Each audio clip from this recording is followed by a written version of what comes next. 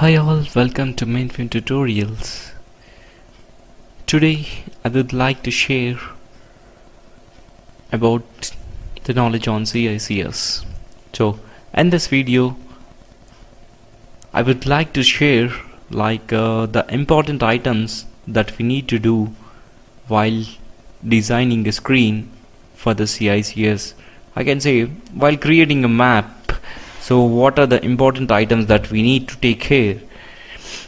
Uh, the first should be the screen headers so which is very very important which identifies the screen.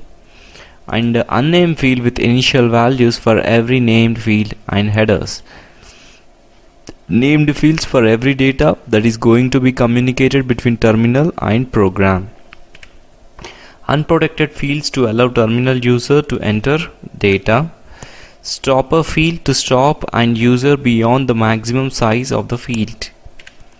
ASKIP for every protected field. Yes that's this is the important point. Error message in the bottom of the screen. If there are any messages error message that need to be popped that is user defined error message it need to be at the bottom. Function keys and its description in the end. Yes definitely. It should be at the end where the function keys. And if you're adding any function keys in your screen or map so you need to add at the end another most important thing is most of the application number and amount fields are alphanumeric in the screen design whereas these are converted into numeric in the application program.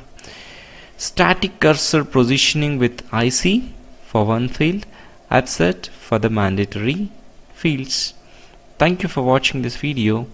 If you feel this video is important and you have gained some knowledge on this please subscribe me on this video to get to see more and more videos.